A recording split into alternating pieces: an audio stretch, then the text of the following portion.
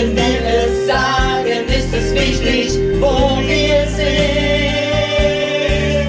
Denn drei Ort auf der Welt gibt uns, was wir uns gibt. Und wenn wir heute nach Hause gehen, wissen wir, wir haben gelebt.